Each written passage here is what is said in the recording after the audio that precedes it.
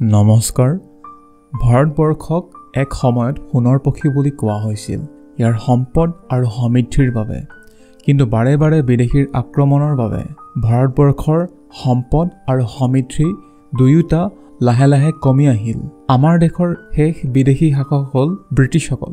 ব্ৰিটিছসকলৰ পৰা ভাৰতবৰ্ষক মুক্ত কৰাত গান্ধীজীৰ ভূমিকা তোমালোকে ভালদৰে গম পোৱা। ব্ৰিটিছসকল যিসকলে ভাৰতবৰ্ষত প্ৰায় দুশ বছৰ ধৰি ৰাজত্ব কৰিছিল সেইসকলৰ পৰা ভাৰতবৰ্ষক মুক্ত কৰাটো সহজ কাৰ্য নাছিল। ই এক ডাঙৰ কাৰ্য আছিল। কিন্তু কোৱা হয় যে প্ৰতি ডাঙৰ কামৰ আৰম্ভণি এক সৰু পদক্ষেপৰ পৰা আৰম্ভ হয়। আৰু আজি আমি গান্ধীজীৰ সেই সৰু পদক্ষেপটো আলোচনা কৰিম যাৰ ফলত গান্ধীজীয়ে অৱশেষত সিদ্ধান্ত লয় যে তেওঁ ভাৰতবৰ্ষক ব্ৰিটিছসকলৰ পৰা মুক্ত কৰিব। গতিকে আহা আমি পাঠটো আৰম্ভ কৰোঁ। চন ঊনৈছশ ষোল্ল মাহ ডিচেম্বৰ। গান্ধীয়ে লক্ষ্ণৌত হোৱা ইণ্ডিয়ান নেশ্যনেল কংগ্ৰেছৰ বাৰ্ষিক সন্মিলনত যোগদান কৰিছিল। তাত ৰাজকুমাৰ শুক্লা নামৰ এজন খেতিয়কক লগ পাইছিল। শুক্লাই কৈছিল তেওঁ কৰ্তৃপক্ষৰ লগত সমস্যাৰ সন্মুখীন হৈছে। গতিকে তেওঁৰ ঠাইলৈ গান্ধীক আহিবলৈ কৈছিল। গান্ধীয়ে কৈছিল তেওঁৰ বেলেগ ঠাইত যোৱাৰ অলৰেডি প্লেনিং হৈ আছে। গতিকে তেওঁ যাব নোৱাৰিব। শুক্লা নিৰাশ নহৈ গান্ধীক লগত লৈ যাম বুলি থিৰাং কৰিলে। শুক্লাই বহুদিনলৈ গান্ধীৰ চাহটোৰ দৰে গান্ধীৰ লগত থাকিব ল'লে। গান্ধীয়ে শুক্লাৰ সংকল্প আৰু কাহিনী শুনি অৱশেষত মান্তি হ'ল। গান্ধীয়ে ক'লে যে তেওঁক কলকাতাত লগ কৰিবলৈ আৰু তাৰ পৰা তেওঁক লৈ যাবলৈ। এনেদৰে বহু মাহ পাৰ হ'ল।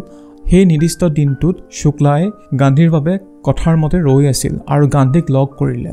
তাৰ পিছত দুয়ো পাটনালৈ যোৱা ট্ৰেইন এখনত উঠিলে। ট্ৰেইনৰ পৰা নামি শুক্লাই গান্ধীক ৰাজেন্দ্ৰ প্ৰসাদ যি পিছত কংগ্ৰেছৰ সভাপতি হৈছিল তেওঁৰ ঘৰলৈ লৈ গৈছিল। কিন্তু ৰাজেন্দ্ৰ প্ৰসাদ ঘৰত নাছিল। তাৰ পিছত গান্ধীয়ে সমস্যাটোৰ বিষয়ে তথ্য গোটাবলৈ আৰম্ভ কৰিলে। গান্ধীয়ে প্ৰথমে মুজাফাৰপুৰলৈ গৈছিল আৰু প্ৰফেচৰ কৃপালানীক তেওঁৰ যাত্ৰাৰ কথা খবৰ দিছিল। ট্ৰেইন ষ্টেচনত কৃপালানী আৰু তেওঁৰ বহু ষ্টুডেণ্টছ গান্ধীক অভিবাদন জনাবলৈ ৰৈ আছিল। গান্ধীয়ে মুজাফাৰপুৰত চৰকাৰী স্কুলৰ শিক্ষক প্ৰফেচৰ মালকানীৰ ঘৰত দুদিন থাকিছিল। গান্ধীৰ আগমনৰ কথা গম পাই বহু কৃষক চম্পাৰণৰ পৰা খোজেৰে আহিছিল গান্ধীক চাবলৈ। গান্ধীয়ে মুজাফাৰপুৰৰ উকিলসকলক লগ কৰিছিল আৰু তেওঁলোকে গান্ধীক কয় যে আদালতত তেওঁলোকে কৃষকসকলৰ হৈ থিয় হয় আৰু তাৰ বাবে তেওঁলোকে মাচুল লয়। ডাঙৰ মাচুলৰ কথা শুনি গান্ধীয়ে তেওঁলোকক গালি পাৰিছিল কাৰণ কৃষকসকল দুখীয়া হয় তেওঁলোকে মাটিৰ মালিকক ফি দিব লগা হয় আকৌ আদালতলৈ আহিলে উকিলক মাচুল দিব লগা হয়। এনে এটা সমাজ ব্যৱস্থাত থাকি তেওঁলোক ভাগি পৰিছিল আৰু উচ্চ লোকসকলৰ অন্যায়ৰ বিৰুদ্ধে মাত মাতিবলৈ ভয় কৰিছিল। তেওঁলোকক প্ৰকৃত অৰ্থত সহায় কৰা মানুহ নাছিল। গতিকে গান্ধীয়ে কৈছিল যে এনে সমস্যা আদালতলৈ লৈ যোৱাটো অৰ্থহীন। আদালতত এনে সমস্যা লৈ যোৱাতকৈ তেওঁলোকৰ মনৰ পৰা ভয় আঁতৰোৱাটো ভাল হ'ব। এতিয়া তোমালোকে ভাবিছে চাগে সমস্যাটো কি আছিল? সমস্যাটো এইটোৱে আছিল যে চম্পাৰণ ডিষ্ট্ৰিক্টৰ খেতিৰ মাটিবোৰ ডাঙৰ ডাঙৰ এষ্টেটত ভাগ হৈছিল আৰু সেই ষ্টেটছবোৰ ব্ৰিটিছসকলে নিজৰ কৰি লৈছিল। সেই খেতিত বাণিজ্যিক ফচল ইণ্ডিগো আছিল।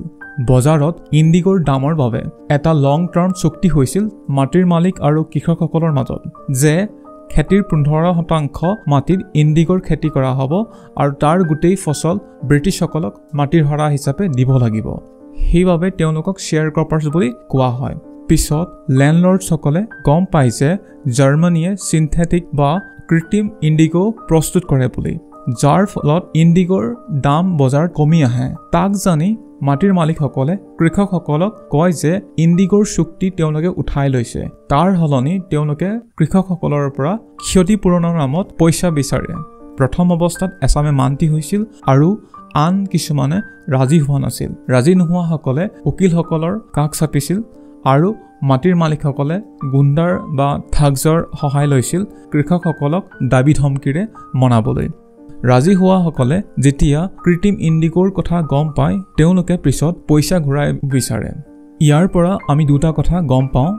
বজাৰত ইণ্ডিগোৰ দামৰ কথা জানি লেণ্ডলৰ্ডছসকলে গোটেই লাভ নিজে ল'ব বিচাৰিছিল। মাটি তেওঁলোকৰ নিজৰ নাছিল। আৰু খেতিৰ অলপো কষ্ট তেওঁলোকে নিজে কৰা নাছিল। এয়া শোষণ কৰা অন্য এক উদাহৰণ আছিল। দ্বিতীয় যেতিয়া ইণ্ডিগৰ দাম কমি আহিল তেতিয়া তেওঁলোকে বহুদিনীয়া চুক্তিটো ভংগ কৰে। পইচা বিচৰাটো চুক্তিত নাছিল। শোষণ কৰিব যাওঁতে তেওঁলোকে কি ভুল কি শুদ্ধ সকলো পাহৰি পেলাইছিল। এনে অন্যায়ক দেখি ৰাজকুমাৰ শুক্লাৰ দৰে কৃষকে গান্ধীৰ সহায় বিচাৰিছিল। সমস্যাটো বুজি লৈ গান্ধীয়ে চম্পাৰণত পায়গৈ প্ৰথমে ব্ৰিটিছ লেণ্ডলৰ্ডছ এছ'চিয়েশ্যন আৰু পিছত ত্ৰিহুট ডিভিজনৰ ব্ৰিটিছ কমিশ্যনাৰক গান্ধীয়ে লগ কৰে। দুয়ো ঠাইতে গান্ধীক সমস্যাটোৰ বিষয়ে তথ্য দিবলৈ ৰাজি নহয়। গান্ধী হতাশ নহয় মতিশাৰীত যি চম্পাৰণৰ কেপিটেল হয় তাত উপস্থিত হয়গৈ। বহু উকিল গান্ধীক লগ দিছিল। ৰেলৱে ষ্টেচনত বিশাল জনগণ আহি ৰৈছিল গান্ধীক অভিবাদন জনাবলৈ। জনসাধাৰণৰ উপস্থিতিয়ে তেওঁলোকৰ গান্ধীৰ প্ৰতি সমৰ্থনক দেখুৱাইছিল। গান্ধীয়ে এটা ঘৰত থাকি অনুসন্ধান অবিৰত ৰাখিলে। এনেতে ওচৰৰ গাঁৱৰ এজন কৃষকক বেয়া ব্যৱহাৰ কৰা কথা গান্ধীৰ কাণত পৰে। গান্ধীয়ে পৰিস্থিতিৰ বুজ ল'বলৈ পিছদিনা ৰাতিপুৱা যাবলৈ থিৰাং কৰে। ৰাতিপুৱাত যাত্ৰাৰ অলপ দূৰ পোৱা পিছত গান্ধীয়ে ছুপাৰিণ্টেণ্ডেণ্টৰ সংবাদবাহকক লগ পায়। সংবাদ এয়াই আছিল যে গান্ধীয়ে অতি সোনকালে সেই ঠাইৰ পৰা গুচি যাব লাগে। কিন্তু গান্ধীয়ে সেই আদেশ নামানি তাতে থাকিবলৈ সিদ্ধান্ত লয়। এই আদেশ অমান্য কৰাৰ বাবে গান্ধীক পিছদিনা আদালতত হাজিৰ হ'বলৈ আদেশ দিয়ে। গান্ধীয়ে সেই ৰাতি সাৰে থাকি ৰাজেন্দ্ৰ প্ৰসাদলৈ টেলিগ্ৰাফ পঠিয়ায় যে তেওঁ বিহাৰৰ পৰা তেওঁৰ প্ৰভাৱশালী বন্ধু কেইজনমানৰ লগত তালৈ আহিবলৈ আৰু লগতে তেওঁ আশ্ৰমলৈ কিছুমান নিৰ্দেশ দিছিল। পিছদিনা কৃষকৰ সমাগমে ব্ৰিটিছ অফিচাৰসকলক চিন্তিত কৰিছিল। সেই বিশাল জনগণে গান্ধীৰ প্ৰতি থকা সমৰ্থন আৰু তেওঁলোকৰ ব্ৰিটিছসকলৰ প্ৰতি ভয়টোৰ পৰা মুক্তি হোৱাটোক দেখুৱাইছিল। গান্ধীৰ মতে তেওঁলোক ভয়ৰ পৰা মুক্ত হোৱাটো বহু জৰুৰী আছিল। কোৱা হয় যে প্ৰতি যুদ্ধ দুবাৰকৈ যুঁজ কৰা হয়। প্ৰথমখন মনত যুঁজ কৰা হয় আৰু দ্বিতীয়বাৰ যুদ্ধক্ষেত্ৰত যুঁজ কৰা হয়। কৃষকসকলে ব্ৰিটিছসকলৰ বিৰুদ্ধে যুঁজ কৰাৰ আগত তেওঁলোকৰ মনত থকা ব্ৰিটিছসকলৰ প্ৰতি ভয়টোক পৰাজয় কৰিব লাগিব আৰু কোৰ্টত তেওঁলোকৰ উপস্থিতিয়ে তেওঁলোকৰ মনৰ ভয়টোক পৰাজয় কৰাৰ এক ইংগিত দিছিল। বিশাল জনগণক নিয়ন্ত্ৰণ কৰিবলৈ গান্ধীৰ অবিহনে অসম্ভৱ আছিল। আদালতত মেজিষ্ট্ৰেটে কোনো বিচাৰ কৰিব নোৱাৰে আৰু তেওঁ বিচাৰ কেইদিনমানৰ পিছত দিম বুলি ঘোষণা কৰে। এনেতে ৰাজেন্দ্ৰ প্ৰসাদ তেওঁৰ বন্ধুসকলৰ লগত চম্পাৰণত উপস্থিত হয়। তেওঁলোকে গান্ধীৰ কৃষকসকলৰ প্ৰতি সংকল্প দেখি গান্ধীক অনুসৰণ কৰিবলৈ সাজু হয়। একতা দেখি গান্ধীয়ে কৈছিল চম্পাৰণৰ যুঁজত আমি বিজয়ী হ'লোঁ। কাৰণ যুঁজ এখনত জিকিবলৈ প্ৰথমে নিজ লোকসকলৰ মাজত একতা বহুত জৰুৰী। আমাৰ মাজত একতা নথকাৰ বাবে ব্ৰিটিছসকলে আমাৰ ওপৰত ৰাজত্ব কৰিবলৈ সাহস পাইছিল। এই ক্ষেত্ৰত বল্লভ ভাই পেটেলে কৈছিল যে we divided our self and they rules তাৰমানে আমি প্ৰথমে আমাৰ নিজৰ মাজতে বিভাজন কৰিছিলোঁ আৰু তাৰ পিছত তেওঁলোকে আমাৰ ওপৰত ৰুল কৰিছিল। এই কথা আজিও প্ৰাসংগিক হয়।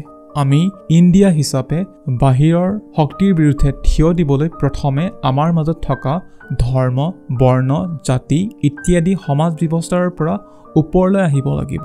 নহ'লে আমি এইবোৰক লৈয়ে নিজৰ মাজতে অনিৰ্দিষ্ট কাললৈ যুঁজ কৰি থাকিম আৰু লাও খোলাটোৰ দৰে শূন্য হৈ পৰিম যাৰ ফলত বাহিৰৰ শক্তিৰ বাবে আমাক পৰাজয় কৰাটো অতি সহজ হৈ পৰিব। কেইদিনমানৰ পিছত গান্ধীয়ে মেজিষ্ট্ৰেটৰ পৰা খবৰ পায় যে সেই প্ৰভিন্সৰ লিউটেনেণ্ট গভৰ্ণৰ ছাৰ এডৱাৰ্ড গেইটে কেছটো উঠাই ল'বলৈ কৈছিল ইয়াৰ অৰ্থাৎ প্ৰথমবাৰৰ বাবে ভাৰতবৰ্ষত গান্ধীৰ আইন অমান্য পদ্ধতিৰ জয় হৈছিল। তাৰ পিছত গান্ধী পুনৰ উকিলসকলৰ লগত কৃষকসকলৰ অভিযোগবোৰ অনুসন্ধান কৰিবলৈ আৰম্ভ কৰে। প্ৰায় দহ হাজাৰ কৃষকৰ জবানবন্দী নোট কৰে আৰু আন প্ৰমাণবোৰ গোটায়। এনেতে উকিলসকলে চাৰ্লছ এণ্ড্ৰিউজৰ সহায় ল'ব বিচাৰে যি গান্ধীক অনুসৰণ কৰিছিল। চাৰ্লছ এণ্ড্ৰিউজ সাজু আছিল যদি গান্ধীয়ে ৰাজি হোৱাহেঁতেন। কিন্তু গান্ধীয়ে সেই প্ৰস্তাৱ নাকচ কৰে কাৰণ এজন বিদেশীৰ সহায়ে তেওঁলোকৰ দুৰ্বলতাক দেখুৱাব। গান্ধীয়ে সকলো লোক এই যুঁজত আত্মনিৰ্ভৰশীল হোৱাটো বিচাৰিছিল কাৰণ আত্মনিৰ্ভৰশীল হ'ব নোৱাৰিলে ভাৰত স্বাধীন হ'ব নোৱাৰে। ইয়াত আমি গান্ধীৰ আত্মনিৰ্ভৰশীলতাৰ ধাৰণাৰ বিষয়ে জানিব পাৰিলোঁ। তাৰ পিছত গান্ধীক ছাৰ এডৱাৰ্ড গেইটৰ ওচৰত হাজিৰ হ'বলৈ আদেশ দিছিল। মিটিঙৰ পূৰ্বে গান্ধীয়ে তেওঁৰ মুখ্য লিডাৰ্ছসকলক লগ কৰিছিল আৰু যদি তেওঁ ঘূৰি নাহে তেনে পৰিস্থিতিত তেওঁলোকে আইন অমান্যৰ বাবে বিস্তাৰিত পৰিকল্পনা বনাইছিল। গান্ধীৰ ছাৰ এডৱাৰ্ডৰ লগত চাৰি দীৰ্ঘ আলোচনা হৈছিল। আলোচনাৰ ফলাফল হিচাপে এখন কমিশ্যন বনোৱা হয় য'ত চৰকাৰী বিষয়া মাটিৰ মালিকসকল আৰু গান্ধী সদস্য হিচাপে আছিল। কৃষকসকলৰ ফালৰ পৰা কমিশ্যনত কেৱল গান্ধীয়ে আছিল।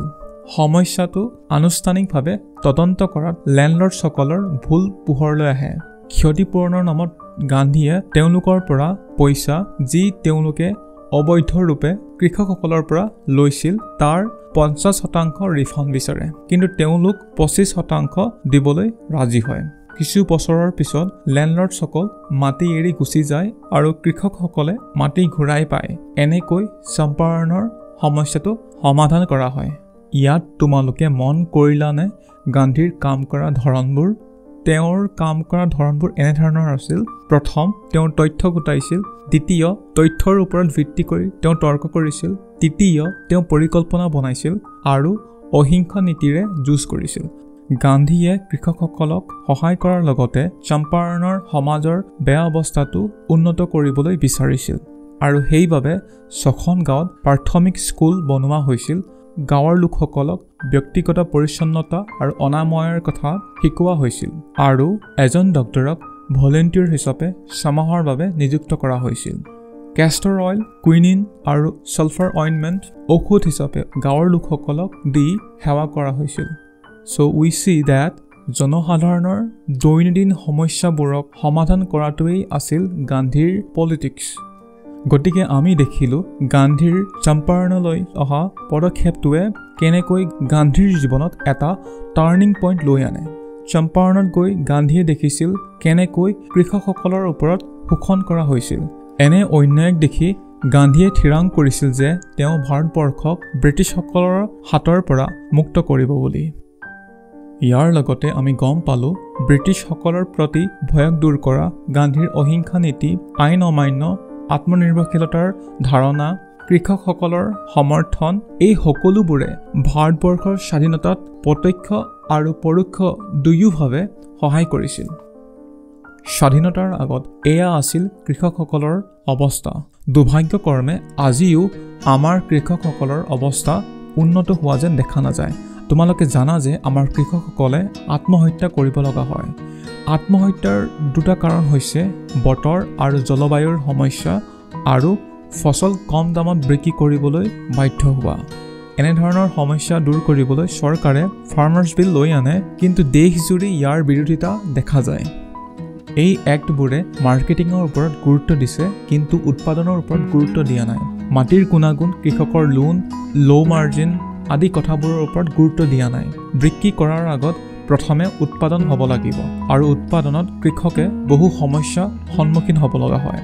সেই সমস্যাবোৰৰ ওপৰত ইয়াত কোনো গুৰুত্ব দিয়া হোৱা নাই। মই সমস্যাটো এইবাবে উনুকিয়ালোঁ কাৰণ কৃষকসকলৰ সমস্যা আমাৰ দেশৰ সমস্যা। তেওঁলোকে পথাৰত খেতি নকৰিলে আমি কি খাম? ভাবি চোৱা এবাৰ মোৰ পেটত ভাত নপৰাহেঁতেন। মই এই ভিডিঅ'টো বনাব পাৰিলোহেঁতেন নে? আৰু তোমালোকে খালী পেটত থকাহেঁতেন এইটো ভিডিঅ' চাবলৈ তোমালোকৰ ধৈৰ্য থাকিলহেঁতেন নে? চিম্পল ইয়াত ইম্পৰ্টেণ্ট বিষয়টো পলিটিকেল ডিছকাশ্যন হিচাপে নলৈ দেশৰ সমস্যা হিচাপে ভাবিবলৈ চেষ্টা কৰিবা। ধন্যবাদ।